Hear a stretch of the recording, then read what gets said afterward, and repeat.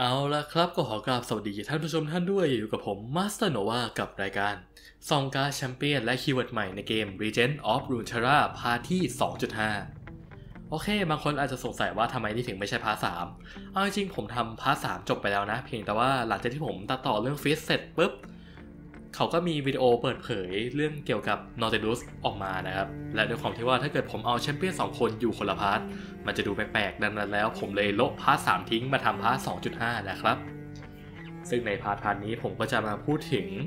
การ์ด unit แล้วก็การ์ด spell ที่ถูกเปิดเผยมาก่อน Fizz มีทั้งหมด 7 ใบครับ เป็น Bilgewater 4ใบ แล้วก็เป็น Freljord อีก 3 ใบนั่นเอง และเราก็จะมาเริ่มกันเลยนะครับกับการ์ดใบแรกได6ได้ 45 c ตัส Courier ดูแล้วก็เป็นวอลรัสแบกส้มนะครับ ซึ่งน่าจะมีความเกี่ยวข้องกับGangplank น่าดูเลย มาพร้อมกับความสามารถพัดเดอร์ฮิลแอร์ไลน์และ Nexus ของเรา 3 จากนั้นแลลี่ การที่แอร์ไลน์นะครับ เปลี่ยน Y เป็น I แล้วเติม ES นั่นก็หมายถึง ally ของเราทุกตัว มันเป็นความสามารถที่ทำให้เราพร้อมบวกครับ คือการ heal ให้พร้อมบวก แล้วก็และความสามารถแรลลี่ที่ทำให้เรานั้นสามารถบวกได้เลย ถ้าเกิดใครไม่รู้ว่าความสามารถแรลลี่ทำอะไรได้ครับ ที่ปุ่มตัว I ที่มุมบนขวานะครับ เราจะมีคลิปเก่าๆไว้ให้ทุกท่านได้รับชมกัน ก็สามารถกดเข้าไปดูได้เลย นอกจากนี้ครับความสามารถนี้ก็ยังส่งผลให้เราเห็นถึงรูปเกมของ Bill Water ได้เลยนะว่า l e g i o n นี้จะเล่นในรูปแบบแบบไหน ซึ่งตามความคิดของผมนะ ผมคิดว่า Bill Water เนี่ยจะเล่นเป็นการโจมตีพร้อมกับการใช้ spell ไปเรื่อยๆ เป็นการโจมตีที่หนักหน่วงครับ พร้อมกับการใช้การ์ด spell ในการ support นั่นเอง ดังนั้นครับ เรามาดูกันที่การ์ดเวทมนต์ใบต่อไปครับ กับ Warning Shot ได้ศูนย์ครับ เป็น Burst deal หนึ่ง damage ใส่ Enemy Nexus มากระตุ้นความสามารถให้กับ Plunder ครับ ถ้าเกิดใครไม่รู้ว่า Plunder คืออะไร เช่นเคยครับด้วยความที่ว่าผมขายของเก่งมากดังนั้นแล้วมุมบนขวาเลยครับ กับ Fast Update ตอนล่าสุดนะ บอกถึงความสามารถของ Plunder เรียบร้อยแล้วนะครับ โอเคเรามาดูกับการ์ดใบนี้ดีกว่า คือ การที่มันร่ายศูนย์เนี่ยทำให้ เรานั้นไม่ต้องเสียอะไรเลยแถมเป็นการ์ด Burst อีกด้วย ดังนั้นแล้วความสามารถนี้ก็เป็นความสามารถในการกระตุ้นความสามารถของ Plunder ได้อย่างดีเยี่ยมครับ การ์ดใบต่อไปนะครับกับ Smooth Soloist ร่าย7ได้ 3-4 ความสามารถ Elusive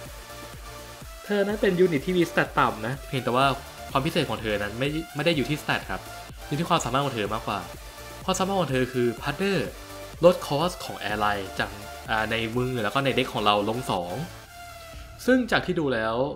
ถ้าเกิดเราแสดงผลกับ Plunder เนี่ย ครบ 3 ครั้งนี่คือลดลง 6 เลยนะ เอ่อ She Who Wanders ที่ cost สี่งั้นเหรอ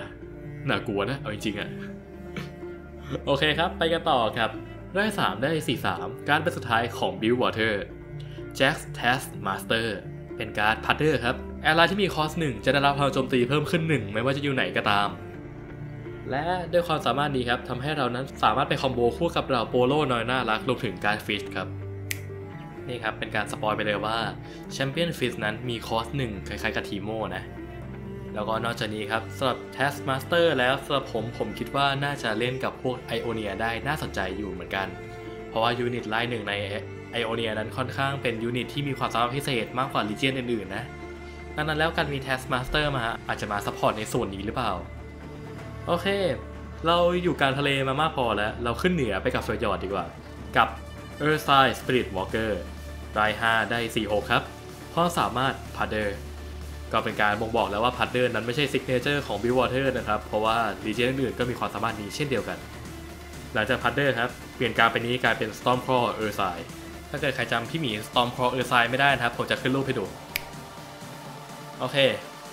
เป็นการ์ดที่ผมเคยบ่นไว้ว่ามันค่อนข้างโกงนะ ด้วยเหตุว่ามันเป็น cost 5ได้ 66ยังมี Overwhelm และความสามารถของเขาครับ ถ้าเกิดการ์ดใบนี้อยู่ในสนาม ally ที่มี power มากกว่า 5 ของเราจะได้รับ Overwhelm อีกด้วย ซึ่งก็ยังยืนยันว่ามันโกงอยู่ดีอะไรนะ และเมื่อรวมกับการไปต่อไปครับได้8ได้ 77 The Trust Leader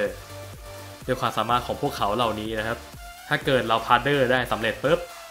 double power และ health ให้กับ ally ทั้งหมดใน deck ของเรา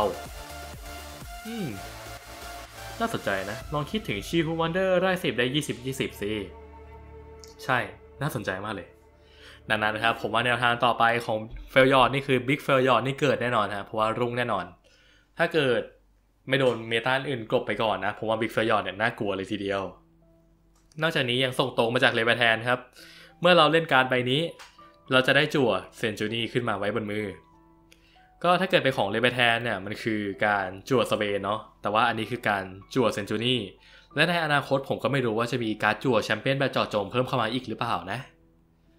แต่ว่าสำหรับในคลิปนี้ครับ การเป็นสุดท้ายที่เราจะเปิดเผยกันก็คือ Wolf Rider ราย4ได้ 4-3 กับความสามารถ Overhem p a d d e r เราจะได้รับ mana gem empty ขึ้นมา 1 gem เอาล่ะมาคุยกันก่อนว่าทำไม Freljord ถึงมีแต่การ์ดแนวๆแบบ big แนวๆ ramp นะ เพราะว่าทาง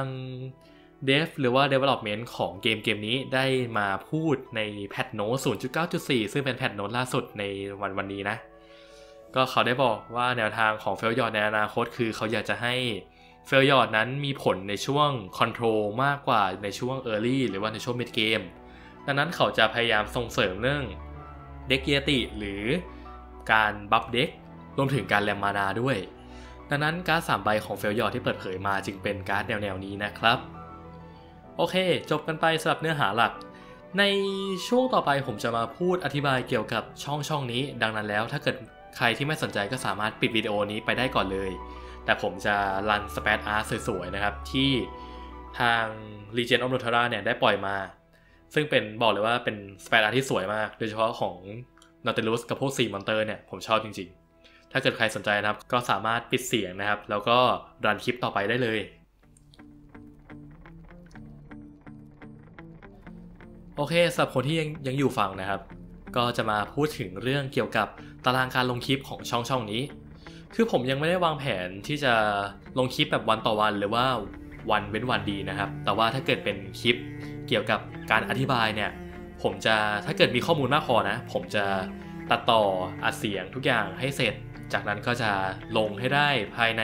6 โมงเย็นหรือไม่เกิน 1 ทุ่มนะครับของวันวันนั้น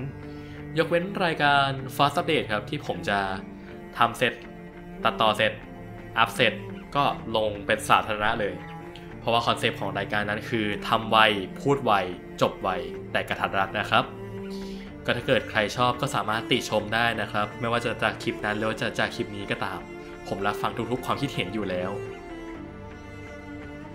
และในช่วงนี้นะครับก็ขอจบคลิปเพียงเท่านี้แล้วกัน ถ้าเกิดชอบคลิปนี้ก็อย่าลืมกดไลค์ กดแชร์ กด subscribe เพื่อเป็นกำลังใจให้ผมทำคลิปต่อๆไปด้วยนะครับสำหรับวันนี้ไว้เจอกันใหม่ See you ครับบ๊ายบายไว้เจอกัน แล้วก็อย่าลืมนะ Today is a good day to see the new world ไว้เจอกันใหม่ ในห้วงลึกแห่งมหาสมุทรนะครับ